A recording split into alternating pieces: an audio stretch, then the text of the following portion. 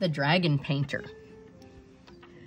Retold by Rosie Dickens and illustrated by John Nez. Chang's house. Everyone loved Chang's pictures, and people came from all over China to see them. Chang painted misty mountains. He painted vases full of flowers. But his animal pictures were best of all. His butterflies and birds really seemed alive. And you could almost see his rabbits twitch their noses. One day, Chang saw the village priest at the temple. The priest was upset. Look at that statue, he said sadly. It's so dirty. Two pigeons had built a nest on the roof right above the statue, and they were making a terrible mess.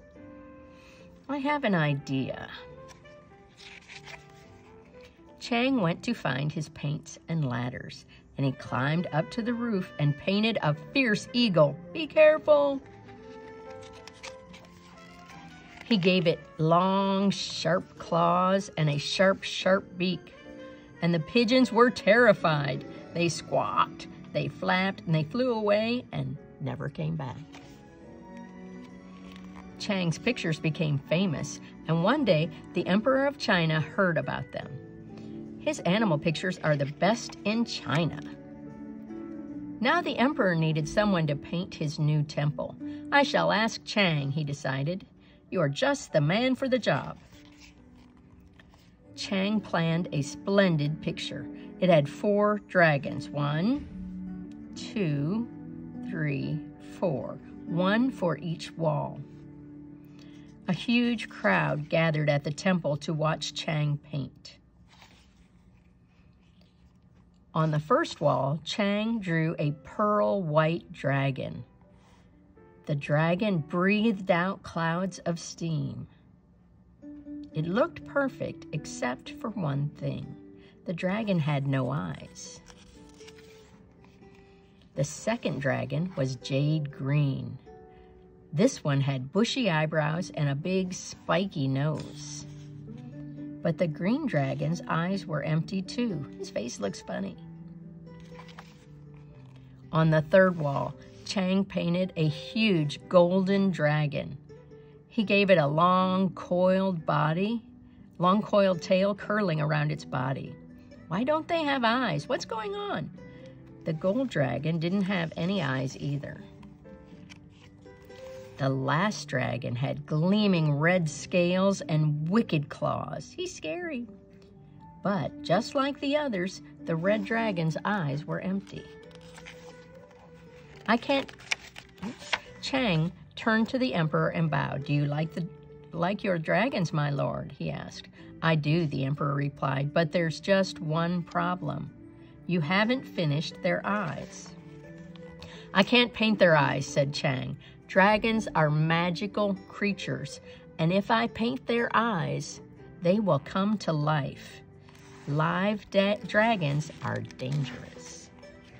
The emperor didn't believe Chang. He thought the painter was teasing him. Stuff and nonsense. Don't be silly, he snapped. I order you to finish these dragons.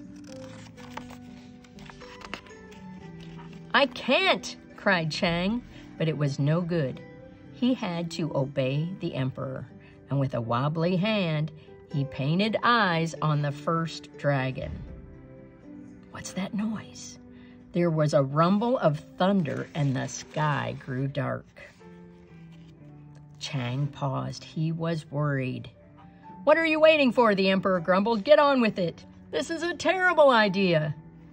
So Chang turned and dotted in the eyes of the jade dragon, the gold dragon, and the red dragon.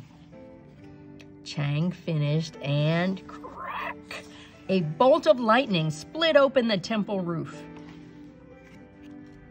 The jade dragon blinked and raised its head. What's happening? Its spiky nose cracked one of the temple columns, and then the pearl dragon yawned, showing rows and rows of sharp teeth. Help, it's alive! It breathed out clouds of burning steam, and the people nearby ran for their lives. Suddenly, both dragons jumped from their walls and, and flew through the hole in the roof. They flew higher and higher until they disappeared into the clouds. The red and gold dragon began to stir, and quickly Chang grabbed his brush and he painted heavy chains around their necks. The dragons rattled their chains, but they couldn't fly away. So the emperor had to make do with only two dragons on his temple walls. He can't say I didn't warn him but they were the best painted dragons in all of China.